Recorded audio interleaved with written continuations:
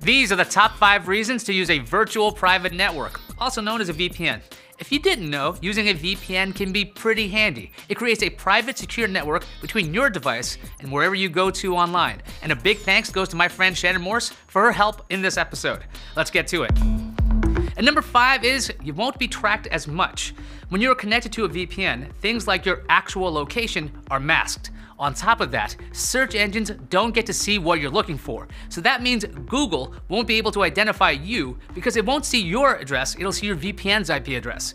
Just be aware that cookies can still be left on your machine, so data can still be collected. And number four is access content out of your region. Sometimes you want to get to a service that you would not normally have access to just because of your physical location. VPNs can help with things like that.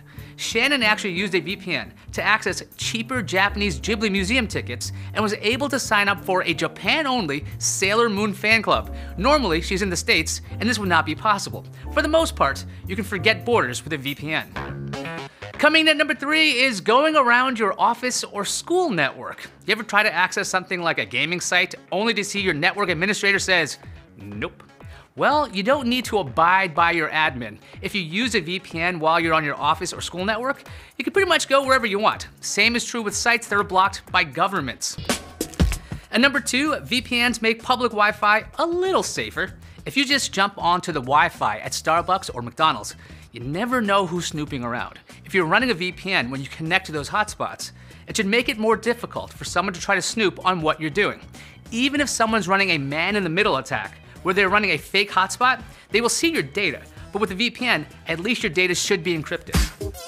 And coming in at number one is your privacy. When you're using a VPN, your own ISP does not know what you're doing.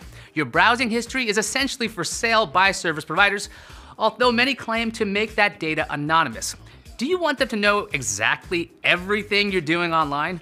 If you do use a VPN, the ISP can see that you're using a VPN. However, the ISP will not be able to see what you were doing while you were using that VPN. If you want to protect yourself a little more, you might want to look into changing your DNS settings. Now, not all VPN services are created equal. If you're using a VPN, remember, it can see what you're doing. Look for a VPN service that does not keep logs. Again, thanks to Shannon Morse. You can find her work here. I'm Iyaz Akhtar, and I'll see you online.